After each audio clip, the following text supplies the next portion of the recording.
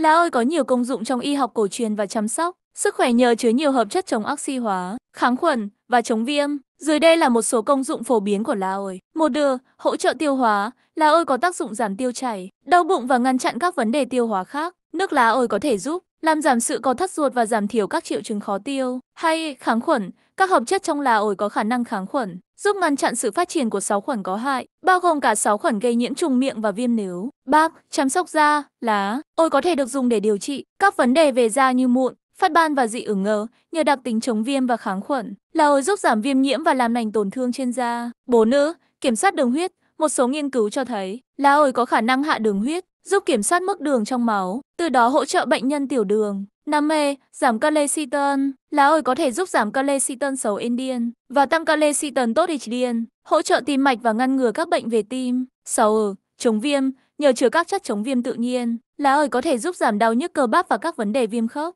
7. E, hỗ trợ giảm cân. Lá ổi có thể giúp ngăn cản quá trình chuyển hóa tinh bột thành đường, từ đó hỗ trợ việc kiểm soát cân nặng. Có thể sử dụng lá ối bằng cách nấu nước uống, làm trà hoặc nghiền nát để đắp lên vùng da bị tổn thương ở. Tuy nhiên, trước khi sử dụng lá ối trong điều trị, cần tham khảo ý kiến của bác sĩ để đảm bảo an toàn.